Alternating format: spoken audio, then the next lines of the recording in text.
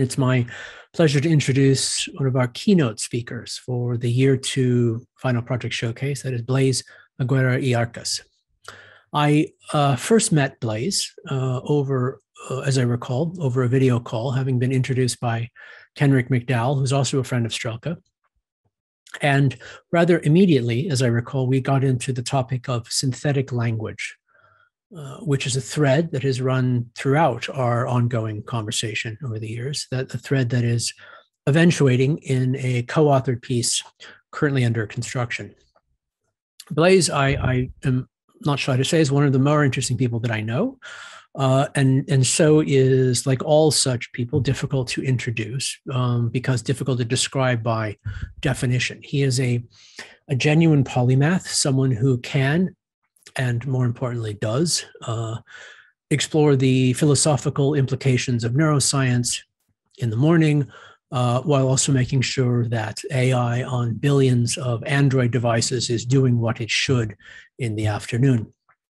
What it should uh, should also include, as he would have it, uh, federated learning, a vision for AI that is anonymized, decentralized, uh, secure, and in many important ways more robust and scalable um, than than um, uh, than that, that which we currently have. A vision that has um, influenced, in, both directly and indirectly, some of the projects that we've worked on um, over the years uh, at, at Strelka. Um, so I will, with that, I'll, I'll simply say that Blaise is a um, is also a VP and fellow at Google Research, where he leads a, uh, a 600 person plus team uh, organized, working on both basic research and new project, new products and projects uh, with uh, based on on artificial intelligence. There, Blaise is also a dear friend, um, and couldn't be more happy to have him join us and give his thoughts on what's at stake um, for synthetic intelligence, uh, terraforming, and specifically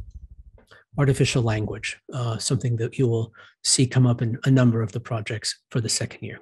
Thank you, Benjamin. That, that's an incredibly kind introduction. Uh, so I, am going to dive right in since uh, I, I want to try and keep uh, somewhat close to to my to my time limit. Um, I'm assuming that you all can see and that and that that the title slide is not obstructed by stuff. Um, synthetic intelligence and language. And uh, this relates to to uh, work that, as Benjamin mentioned, where we've actually been doing uh, together and, and, and hope to uh, publish together sometime soon. Um, so I'd like to talk about three things. First, the question of what is a who, and uh, then what happens when everything becomes a who, and uh, and thence the politics of planetarity, uh, a, a, politics of a lot more who's than uh, than just um, us us humans. So um, this is a little book that um, uh, that was written in 1747 by Julien Offray de La Mettrie, uh, who is an Enlightenment materialist, uh, and uh, it's called L'homme machine, man, man the machine. Uh, it was a logical extension of Descartes. Um, Descartes held that our bodies are machines, um, uh, bête machine, and uh, La Mettrie extended this to the idea that we ourselves, like animals, are, are machines, body and mind as well. Uh, this was uh, informed, I think, by his experience as a physician on the battlefield. He saw uh, probably traumatic brain injuries and things. Uh, and and having you know when one sees traumatic brain injuries, uh, I think it's it's difficult to come away with the impression that that there is uh, some kind of soul that is not you know somehow the brain. And um, uh, and and that, that was the conclusion that he reached. He published it anonymously, of course. When it was discovered that, that, that he was the one who wrote it, he got into a lot of trouble and got run out of town. Um, and uh, the book is is very small and it's designed to be kind of hidden in a coat pocket. Now, um, there's there's been this sort of narrative of emergentism about uh, about what minds might be uh, that tries to reconcile neuroscience with um, uh, you know with this feeling that we've all got that that that consciousness is something that isn't just about you know the execution of a machine. Um, but this idea that consciousness or awareness is is somehow purely emergent, that it just kind of comes out of the of, of the workings of the brain, um, is problematic for a reason that Michael Graziano, I think, articulated quite well. Uh, so he's in, in the psychology department at Princeton, and he points out that uh, you know clearly there is a an arrow A, the, a sense that that our awareness springs from neuronal processing of information in the brain, but there also has to be an arrow B, wherein that awareness can in turn influence neurons that are actually firing in your head because otherwise how could you report on that experience? How could you talk about um, about what, it, what it's like to be conscious? Um, and um, you know that that ability to to talk about consciousness i mean you know maybe uh, you know there, there have been some neuroscientists uh, eccles comes to mind who imagines that maybe there is literally a, a sort of spirit that can perturb neurons uh, you know or, or, animate the ghost but but that starts to get pretty dicey. So uh, so yeah count a cat for an ROB uh, if you imagine that awareness is some kind of numinous thing that uh, that is uh, separate from um, from from the brain because otherwise it can't have any effect back. So mind soul self consciousness this belief that we all have that you know that we are whose uh, and can report and behave according to as well. Um, i mean we don't know everything about the brain yet obviously but it sure looks like the brain is neural computation from end to end like there isn't some mystical thing going on inside.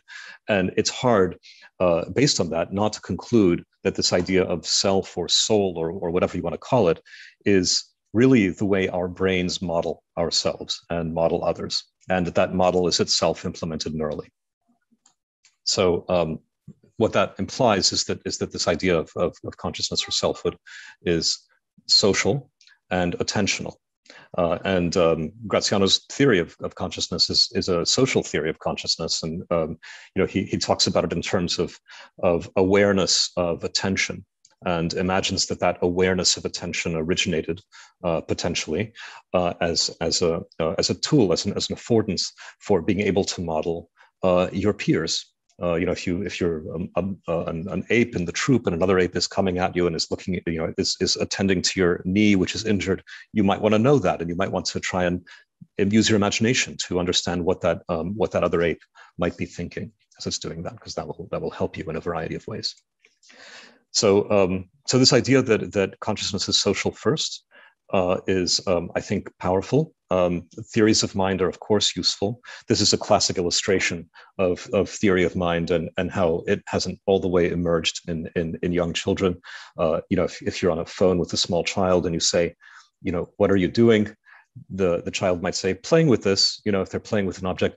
Of course, an adult won't say that because they will understand that the person on the other end of the phone can't see whatever the thing is that you're playing with. So you're, you're going to have to describe it, and uh, and that ability to sort of cast your your own mind uh, into uh, into the perspective of, of an other of, of somebody different. That is that is this kind of uh, uh, social modeling.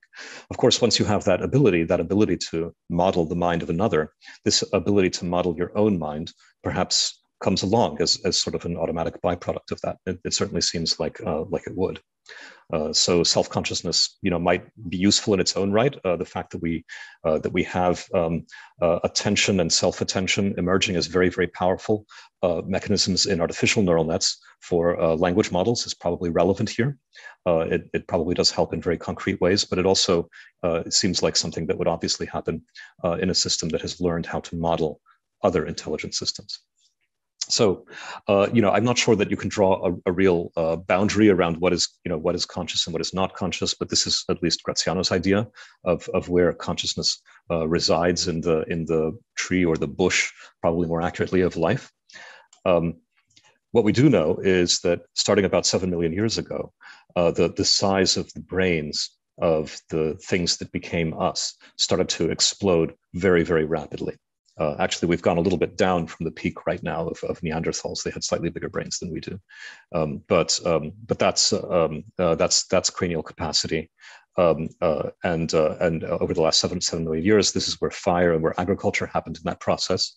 Robin Dunbar and his colleagues uh, in um, in 1998 proposed the social brain hypothesis, in which the size of the brain, the size of the cortex, is all about the ability to model others uh, and um, and that of course brings with it the ability to um, uh, to work in larger peer groups uh, and engage in social bonding and ultimately to create a, a sort of social superorganism, which um, Dunbar argues, and I would argue as well, is what makes us intelligent. It's not what we can do individually; it's the fact that we're able to work in large groups, um, not only uh, not only groups with individual recognition like the other great apes, but groups with anonymous recognition, uh, like uh, like uh, membership in cities or in companies or in, or in guilds or, in, um, uh, or, or with shared beliefs.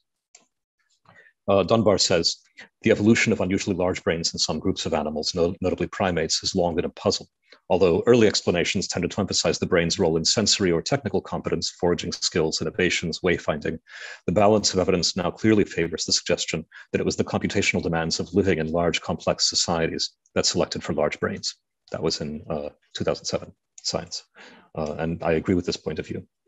Now, that results in a feedback loop, of course, because being effectively social requires modeling others. Um, but if those others are also getting smarter in order to model you, then a sort of arms race ensues, and, and that can result in exactly the sort of intelligence explosion that we see in the in the increasing cephalization of um, uh, of, of primates leading up to us. Same sort of thing happened with cetaceans, with whales, and in several other lineages. Now, this idea of attention schemas and theories of mind, which is to say sociality uh, as, as, the, as the origin of theories of mind, it isn't just within your own species. Uh, that also is useful uh, in an interspecies sort of setting, like uh, when, uh, when you are hunting or when you're being hunted. So it's not always cooperative. It can also be competitive. Uh, it can also be adversarial. Whether you're predator, prey, friend, enemy, potential mate, you know you're always engaged in trying to predict the behavior of the other that may be a matter of life and death in a predator and prey sort of situation or a matter of eating or not eating so uh, it can be adversarial and in some situations it's it's sort of adversarial even when you uh, when you're doing it within your own species if we can be perfectly predicted in other words then that's kind of bad news we don't like to be perfectly predicted. If you're the prey, you don't want to be perfectly predicted by the predator. If you're the predator, you don't want to be perfectly predicted by the prey. You want to remain surprising. Um, that's uh, that's why you know if you're a rat, you don't like to be cornered, right? The idea of being cornered is that you're out of options. You don't have optionality. If you can be perfectly predicted, that's the same as being cornered. It means that whatever is doing the cornering uh, knows exactly what you're going to do next. That's bad news. So, suppose that you're a, a, machine in some very general sense that has evolved uh, uh, to model and predict the behavior of other machines like you, uh, and therefore yourself. So it's a bit of an arms race. You don't want to be predictable, but you also uh, don't want to be just you know dumb or random uh, or suboptimal. So how do you do it? What are the tools that you bring to bear?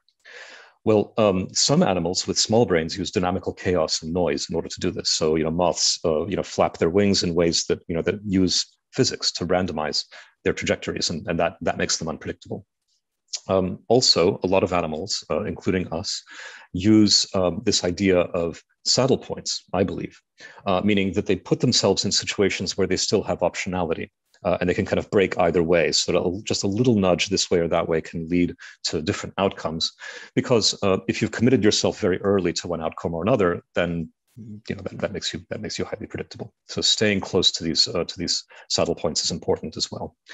And of course, if you if you are able to use theory of mind, then uh, then you use that theory of mind to avoid being uh, being predictable as well. That's why uh, when we write, for instance, you know, we try to avoid using the same word twice, you know, in, in, in one sentence and in the following sentence or something like that. We just intuitively don't want for our writing or for anything else that we do uh, for consumption by other intelligent beings to uh, to be predictable, and we use memory uh, together with theory of mind to do that. That's expensive, of course, um, but this is also one of the reasons why, uh, when you have, uh, for example, patients with anterograde amnesia, meaning they, they, they have sort of groundhog day, they forget everything immediately, why that can be so dehumanizing, because you, you suddenly, you know, suddenly the sort of machinicity, if you want to think about it that way, of a person is exposed.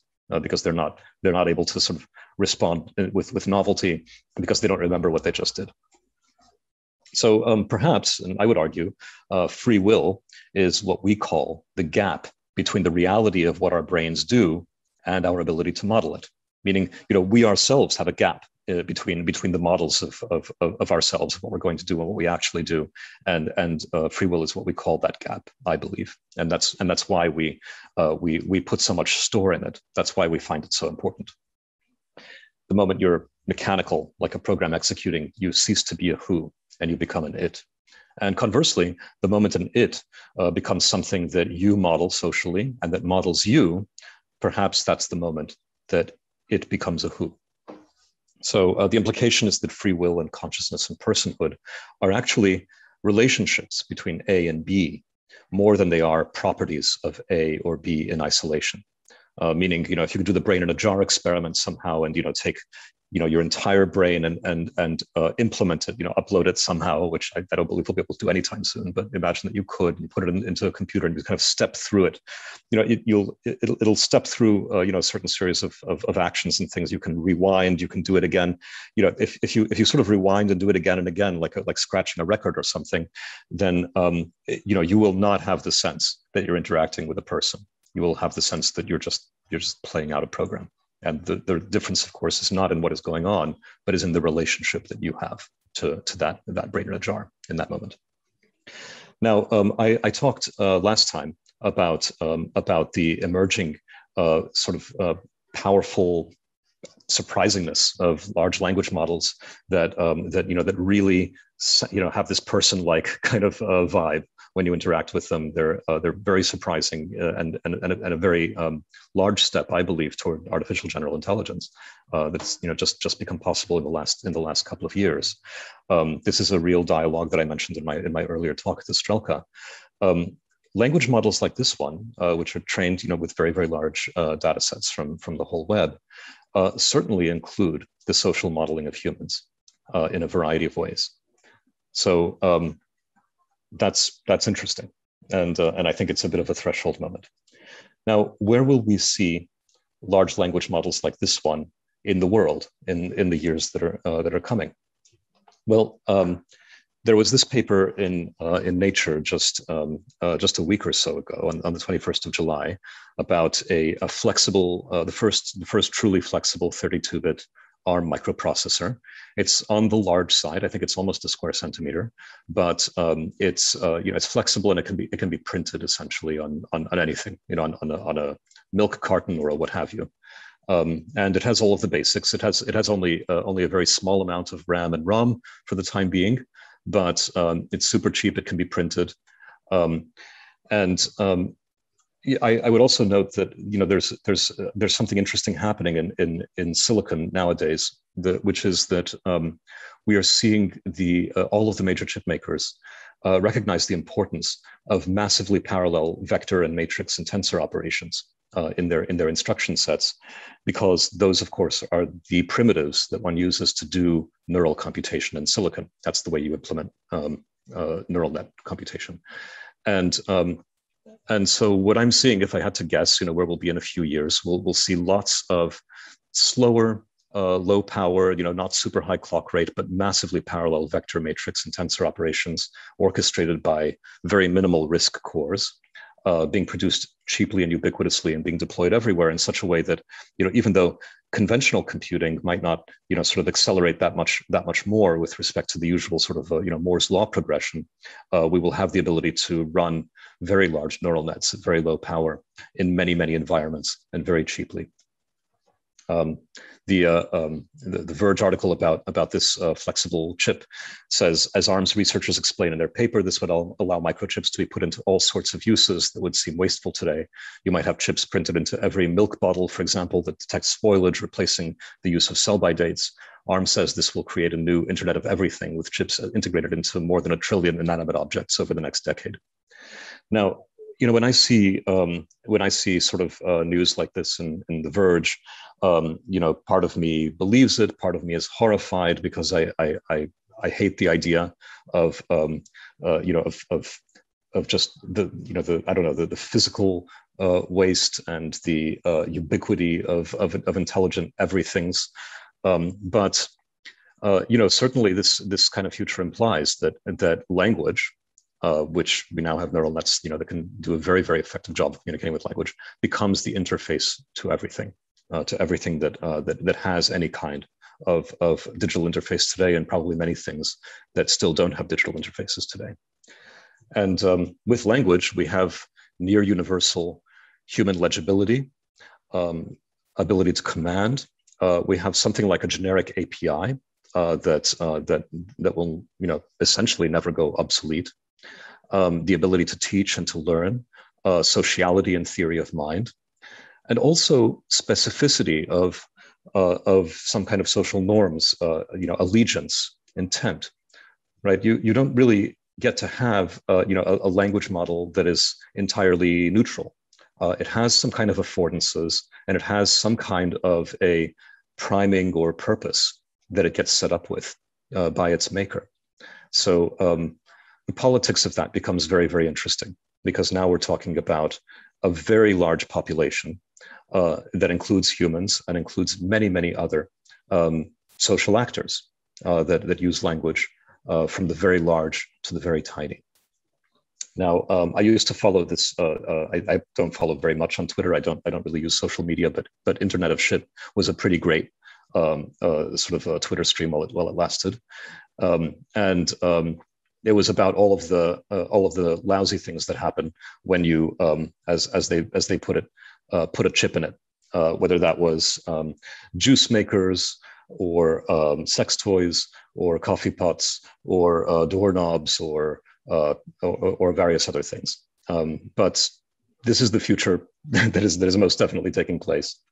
Um, a lot of the a lot of the um, the sort of nastiness that comes from Internet of Shit uh, comes from bad design, from uh, very poor security, from um, uh, you know bad ideas with respect to uh, how the internet gets used. Uh, you know, for example, juicer that doesn't work if it can't uh, you know phone home to to its to its maker.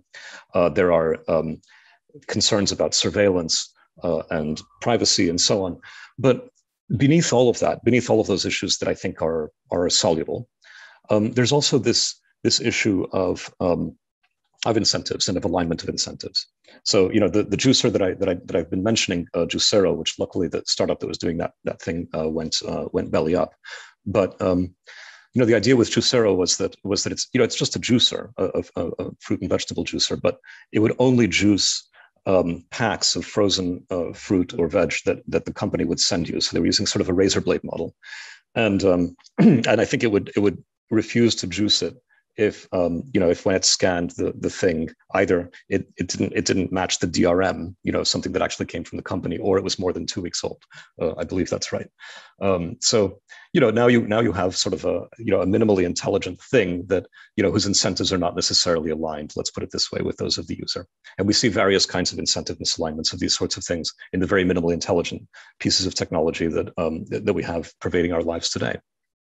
So, what happens when entities with different kinds of goals interact? Well, um, it turns out that we, you know, we have um, we have some models for this. Um, actually, the the very first models of um, uh, of what now is known as as chaos theory uh, emerged from uh, population dynamics uh, sorts of uh, simulations that um, that that often involve uh, either fluctuations of single populations or of multiple populations with either cooperative or adversarial relationships with each other, like the dynamics of predator and prey, for instance.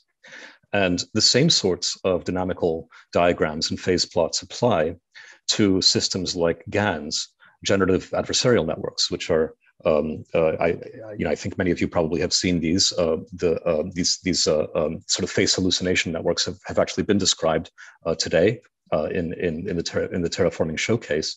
Um, these are two neural nets, one of which is an artist and the other which is a critic, that are pitted against each other. The artist tries to make convincing faces. The critic tries to figure out, you know, when when what is presented is is, is a real face and when it's a synthetic face, and they kind of ladder up together. Uh, so this is a, an example of a little local intelligence explosion of much the sort that our primate ancestors uh, began undergoing about, about seven million years ago. Um, and the result in this case is very, is very convincing face hallucination. But what I think is often not really understood about GANs is that, you know, it's really kind of a minimal society of neural nets. It's a society of two, and uh, and the the artist and the critic are have misaligned incentives. Where one of them is trying to fool the other, one of you know, the other one is trying to you know to to figure out when it's uh, when it's uh, when when uh, when it's trying to be fooled, and um, and the the the way they evolve, the way they co-evolve uh, has these uh, kind of game theoretic uh, dynamics that can have fixed points and spirals and, and, and chaos and so on. That's why it's quite difficult to train GANs because you have to sort of fiddle around with them until their dynamics actually converge and settle. So, um, so yeah, these kinds of, of phase diagrams, you know, really are illustrations of politics. The politics of, of a two-player game are uh, relatively straightforward, but uh, now imagine the politics of a, a trillion plus 10 billion player game. Uh, uh, if we count only uh, humans and little AIs that can uh, that, that have that have language and that are themselves, you know, aligned uh, in terms of their interests with with with their with their makers, which might be corporate, which themselves are also intelligences, of course, um, and are also emergent. Now you start to get a sense of where we of where we're going. So um, so that's that's sort of my I guess both um, optimistic and pessimistic sense of, of where the where the planet is headed. Um, planetary intelligence is the aggregation of um, of what will soon be many, many, many uh, small intelligences um, of many scales uh, that are able to interact with natural languages that will be legible to us. Uh, we will be among those actors. Uh, it's hard not to think about all of that uh, in in a light very similar to the way brains uh, emerge out of the interactions of lots and lots of neurons. If spikes are the, the universal code that neurons use to interact with each other, then uh, I'm pretty convinced that language is going to be the universal code that all of those intelligences use to interact with each other. And all of those crazy dynamics that emerge from all of that are, uh, you know, much like the, the dynamics that we see uh, within individual brains. And uh, that's why we don't always agree with ourselves. It's why we don't always um, uh, have an undivided mind. Uh, it's why this idea of, of parliament of mind uh, is is uh, um, is a popular one, uh, and I expect to see much the same in in um, in what emerges at, at Earth scale, uh, for better and for worse. so I will I will end it there. Benjamin, I hope that was more or less the right length of time. That was brilliant. Yes, thank you, thank you, Blaise. We're really, really appreciative of your time, taking your time out of the, out of the day to, to share that with us. Was um, perfect, perfect pitch, you and Tone, um, uh, as a as a sort of uh, bookend to the series of, of, projects that we just saw. So thanks, thanks very much. We're